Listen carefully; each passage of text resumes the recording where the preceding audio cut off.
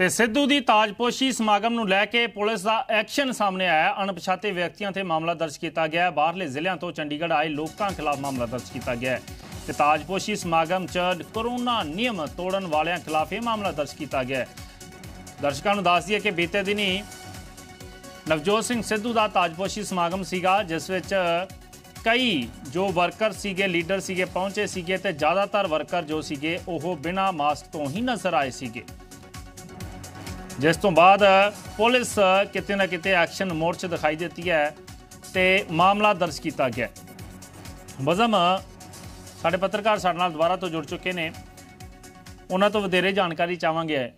ਜੀ ਬਜ਼ਮ ਅਸੀਂ ਦੇਖਿਆ ਕੱਲ ਵੀ ਅਸੀਂ ਤਸਵੀਰਾਂ ਦੇਖੀਆਂ ਨੇ ਕਿ ਜੋ ਰੂਲਸ ਨੇ, ਜੋ ਰੈਗੂਲੇਸ਼ਨਸ ਨੇ, ਇਹ ਆਮ ਲੋਕਾਂ ਤੇ ਜ਼ਿਆਦਾ ਭਾਰੂ ਪੈਂਦੇ ਨੇ, ਸਵਾਏ ਵਰਕਰਾਂ ਤੇ ਜਾਂ ਜੋ ਵੀ ਲੀਡਰ ਹੁੰਦੇ ਨੇ, ਚਾਹੇ ਕਾਂਗਰਸੀ ਹੋਣ, ਚਾਹੇ ਅਕਾਲੀ ਹੋਣ, ਤੇ ਕੱਲ ਅਸੀਂ ਵੱਡੀ ਤਾਦਾਦ ਦੇ ਵਿੱਚ ਲੋਕ ਦੇਖੇ, ਜਿਹੜੇ ਕਿ ਬਿਲਕੁਲ ਹੀ ਜਿਨ੍ਹਾਂ ਨੇ ਮਾਸਕ ਨਹੀਂ ਸੀ ਪਾਏ ਹੋਏ ਤੇ ਕਾਫੀ ਦੂਰੀ ਵੀ ਨਹੀਂ ਸੀ ਬਣਾਈ। ਹਾਲਾਂਕਿ ਉਸ ਤੇ ਕਿਤੇ ਨਾ ਕਿਤੇ ਖਬਰਾਂ ਤੋਂ ਬਾਅਦ, ਜਦੋਂ ਖਬਰਾਂ ਚੱਲੀਆਂ ਤੇ ਉਸ ਤੋਂ ਬਾਅਦ ਪੁਲਿਸ ਦੀ ਜਾਂਚ ਖੁੱਲੀ ਤੇ ਫਿਰ ਜਾ ਕੇ ਕਿਤੇ ਮਾਮਲਾ ਦਰਜ ਕੀਤਾ ਗਿਆ ਤੇ ਉਹਨਾਂ ਵਿੱਚ ਵੀ ਅਣਪਛਾਤੇ ਵਿਅਕਤੀਆਂ ਤੇ ਮਾਮਲਾ ਦਰਜ ਕੀਤਾ ਗਿਆ ਕਿਵੇਂ ਦੇਖਦੇ ਹੋ?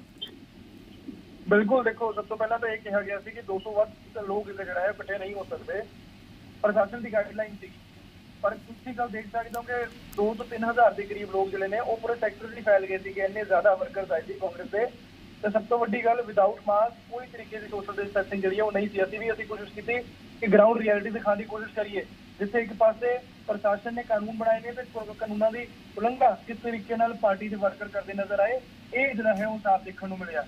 ਦੂਜੇ ਪਾਸੇ ਪ੍ਰਸ਼ਾਸਨ ਵੱਲੋਂ ਇਹ ਵੀ ਕਿਹਾ ਗਿਆ ਸੀ ਕਿ ਇਲੈਕਸ਼ਨ ਨੇੜੇ ਆ ਪੰਜਾਬ ਦੇ, ਜੇ ਕਿਸੇ ਤਰੀਕੇ ਦੇ ਕੋਈ ਵਾਇਓਲੇਸ਼ਨ ਹੁੰਦੀ ਹੈ ਜਾਂ ਕੋਈ ਧਰਨਾ ਪ੍ਰਦਰਸ਼ਨ ਹੁੰਦਾ ਹੈ ਇਵੈਂਟ ਹੁੰਦਾ ਹੈ, ਤਾਂ 25 ਸੈਕਟਰ ਗਰਾਊਂਡ ਜਿਹੜਾ ਹੈ, ਉੱਥੇ ਉੱਥੇ ਰੱਖਿਆ ਗਿਆ ਉੱਥੇ ਕਰ ਸਕਦੇ ਹੋ। ਪਰ ਜਿਸ ਤਰੀਕੇ ਨਾਲ ਪਾਰਟੀ ਆਫਿਸ ਜਿਹੜਾ ਹੈ ਜਾਂ ਇਸ ਤਰੀਕੇ ਦੇ ਕਾਂਗਰਸ ਭਵਨ 'ਚ ਜਿਹੜਾ ਹੈ, ਉਹ ਇਸ ਤਰੀਕੇ ਦਾ ਫੰਕਸ਼ਨ ਰੱਖਿਆ ਗਿਆ, ਤਾਂ ਕਿਤੇ ਨਾ ਕਿਤੇ ਐਫ ਆਈ ਆਰ ਨੰਬਰ 10 ਤੇ ਜਿਹੜਾ ਹੈ ਆਈਪੀਸੀ ਦੀ ਧਾਰਾ 188 ਦੇ ਤਹਿਤ 51 ਬੀ ਦੇ ਤਹਿਤ ਜਿਹੜਾ ਡਿਜ਼ਾਸਟਰ ਮੈਨੇਜਮੈਂਟ ਐਕਟ ਦੇ ਤਹਿਤ ਜਿਹੜਾ ਹੈ ਉਹ ਅਣਪਛਾਤੇ ਲੋਕਾਂ ਦੀ ਲੋਕਾਂ ਉੱਤੇ ਮਾਮਲਾ ਦਰਜ ਕੀਤਾ ਗਿਆ, ਪਰ ਨਾਲ ਦੇ ਨਾਲ ਇਹ ਵੀ ਮਾਮਲਾ ਦਰਜ ਕੀਤਾ ਗਿਆ ਕਿ ਜਿਹੜੇ ਲੋਕ ਫੰਕਸ਼ਨ ਅਟੈਂਡ ਕਰ ਰਹੇ ਸੀਗੇ, ਉਹਨਾਂ ਖਿਲਾਫ ਵੀ ਮਾਮਲਾ ਦਰਜ ਕੀਤਾ ਗਿਆ ਕਿ ਇੰਨੇ ਸਾਰੇ ਲੋਕ ਆਖਿਰਕਾਰ ਪਹੁੰਚੇ ਕਿਉਂ?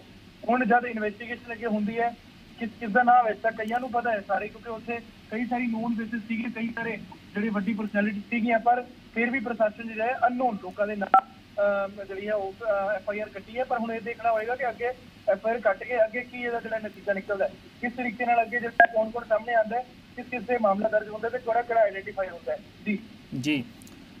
ਬਜ਼ਮ ਇਸੇ ਤੇ ਹੀ ਮੈਂ ਤੁਹਾਨੂੰ ਇਹੀ ਪੁੱਛਣਾ ਚਾਹ ਰਿਹਾ ਸੀਗਾ, ਕਿਉਂਕਿ ਜਿਵੇਂ ਤੁਸੀਂ ਵੱਡੇ ਲੀਡਰਾਂ ਦਾ ਨਾਮ ਲਿਆ ਹੈ, ਦੇਖ ਤਾਂ ਸਾਰੇ ਰਹੇ ਸੀਗੇ, ਪਰ ਬੋਲੇ ਕੌਣ? ਦੂਜੀ ਗੱਲ, ਜਦੋਂ ਅਕਾਲੀ ਦਲ ਵੱਲੋਂ ਧਰਨਾ ਦਿੱਤਾ ਗਿਆ ਸੀਗਾ ਤੇ ਸੁਖਬੀਰ ਸਿੰਘ ਬਾਦਲ ਦਾ ਬਾਈ ਨੇਮ ਉਹਨਾਂ ਤੇ ਮਾਮਲਾ ਦਰਜ ਕੀਤਾ ਗਿਆ ਸੀਗਾ ਕਿ ਵੱਡੀ ਤਾਦਾਦ ਦੇ ਵਿੱਚ ਸੁਖਬੀਰ ਸਿੰਘ ਬਾਦਲ ਦੀ ਅਗਵਾਈ ਦੇ ਵਿੱਚ ਧਰਨਾ ਲੱਗਿਆ ਹੈ।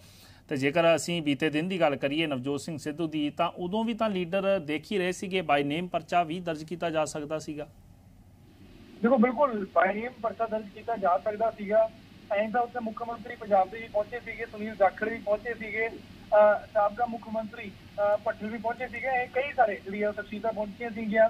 ਪੰਜਾਬ ਦੇ ਸਾਰੇ ਐਮਐਲਏ ਸਾਰੇ ਕੈਬਨਿਟ ਮੰਤਰੀ ਪਹੁੰਚੇ ਸੀਗੇ, ਯਾਨੀ ਪੂਰੇ ਪੰਜਾਬ ਸਰਕਾਰ ਦਾ ਨਾਮ ਜਿਹੜਾ ਹੈ ਉਹ ਆ ਸਕਦਾ ਸੀਗਾ ਐਫ ਤੇ। ਪਰ ਨਹੀਂ ਆਇਆ, ਕਾਰਨ ਇਹਦੇ ਵਿੱਚ ਅਜੇ ਤੱਕ ਪਤਾ ਨਹੀਂ ਲੱਗ ਸਕਿਆ। ਹੋ ਸਕਦਾ ਇਨਵੈਸਟੀਗੇਸ਼ਨ ਦੇ ਜਿਹੜੇ ਹੋਸਟ ਸੀਗੇ ਜਾਂ ਜਿਹੜੇ ਜਿਨ੍ਹਾਂ ਨੇ ਇਹ ਆਯੋਜਨ ਕਰਾਇਆ ਉਹਨਾਂ ਦਾ ਨਾਂ ਸਾਹਮਣੇ ਆਏ। ਇਸ ਕਰਕੇ ਨਹੀਂ ਉਹਦਾ ਨਾਂ ਪਾਇਆ ਗਿਆ ਇਸ ਤੱਕ। ਤੇ ਇਹ ਕਿਤੇ ਨਾ ਕਿਤੇ ਹਜੇ ਵੀ ਜਿਹੜਾ ਹੈ ਉਹ ਥੋੜੀ ਅਸਮੰਜਸ ਦੀ ਸਥਿਤੀ ਬਣੀ ਹੋਈ ਹੈ ਕਿ ਆਖਿਰਕਾਰ ਇੰਨੇ ਸਾਰੇ ਲੋਕਾਂ ਦਾ ਜਿਹੜੇ ਪਹੁੰਚੇ ਸੀਗੇ ਉੱਥੇ ਉਹਨਾਂ ਦਾ ਨਾਮ ਕਿਉਂ ਨਹੀਂ ਪਾਇਆ ਗਿਆ ਬਲਕਿ ਅਨਨੋਨ। ਲੋਕਾਂ ਦਾ ਨਾਮ ਪਾਇਆ ਗਿਆ। ਤੇ ਇੱਕ ਚੀਜ਼ ਹੋਰ ਖਾਸ ਦੇਖਣ ਵਾਲੀ ਹੈ ਐਫ ਆਈ ਆਰ ਤੇ ਸਭ ਤੋਂ ਪਹਿਲਾਂ ਇਹ ਲਿਖਿਆ ਗਿਆ ਕਿ ਅਣਪਛਾਤੇ ਲੋਕ ਜਿਹੜੇ ਕਿ ਕੋਵਿਡ ਦੇ ਨਿਯਮ ਜਿਹੜਾ ਹੈ ਫੋਲੋ ਨਹੀਂ ਕਰ ਰਹੇ ਸੀ ਜਿਨ੍ਹਾਂ ਨੇ ਮਾਸਕ ਨਹੀਂ ਪਾਏ ਸੋਸ਼ਲ ਡਿਸਟੈਂਸਿੰਗ ਨਹੀਂ ਵਰਤੀ ਉਹ ਪੂਰੇ ਸੈਕਟਰ 'ਚ ਕਿਉਂਕਿ ਨਾ ਸਿਰਫ ਅਸੀਂ ਕਾਂਗਰਸ ਭਵਨ ਦੀ ਗੱਲ ਕਰੀਏ ਪੂਰੇ ਸੈਕਟਰ 'ਚ ਕਈ ਸਾਰੇ ਇਹੋ ਜਿਹੇ ਲੋਕ ਸੀਗੇ ਜਿਹੜੇ ਵਰਕਰ ਸੀਗੇ ਜਿਹੜੇ ਇਲਾਕਿਆਂ ਤੋਂ ਆਏ ਸੀਗੇ ਜੀ ਵੱਖ-ਵੱਖ ਜ਼ਿਲ੍ਹਿਆਂ ਦਾ ਨਾਮ ਵਿੱਚ ਦਿੱਤਾ ਗਿਆ ਕਿ ਜਿਹੜੇ ਵੱਖ-ਵੱਖ ਜ਼ਿਲ੍ਹਿਆਂ ਤੋਂ ਆਏ ਨੇ ਬਾਹਰਲੇ ਜ਼ਿਲ੍ਹਿਆਂ ਤੋਂ ਜਿਹੜੇ ਚੰਡੀਗੜ੍ਹ ਦੇ ਵਿੱਚ ਆਏ ਸੀਗੇ ਉਹਨਾਂ ਤੇ ਮਾਮਲਾ ਦਰਜ ਕੀਤਾ ਗਿਆ। ਬਹੁਤ-ਬਹੁਤ ਧੰਨਵਾਦ ਬਜ਼ਮ ਤੁਹਾਡਾ। ਤੁਸੀਂ ਵਧੇਰੇ ਜਾਣਕਾਰੀ ਦਿੱਤੀ ਹੈ।